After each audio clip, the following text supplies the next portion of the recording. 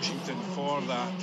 And the tribute is just about to start now. Ron Gordon, the picture of Ron Gordon says R.I.P. Ronald J. Gordon, August 1954, February 2023. Yesterday there was a, a, an incredibly moving service, memorial service took place in Edinburgh, attended by all the Hibernian backroom staff.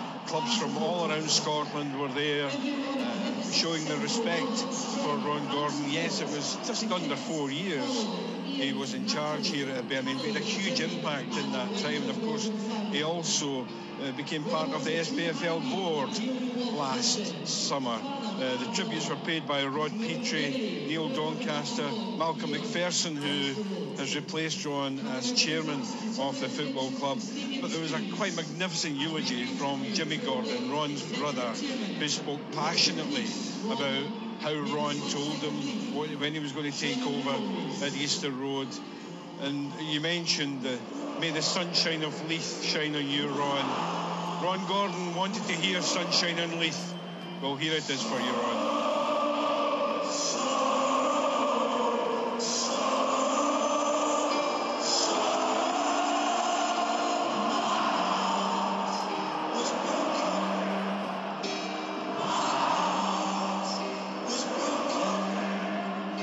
soul.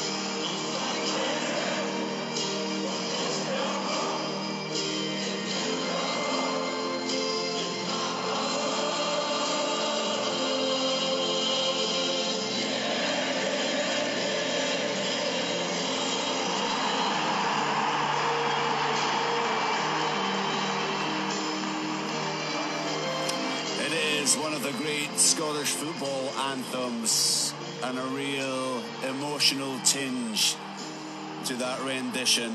The players waiting until we got towards the final chorus there before emerging up uh, out of the dugouts and uh, making their way onto the pitch.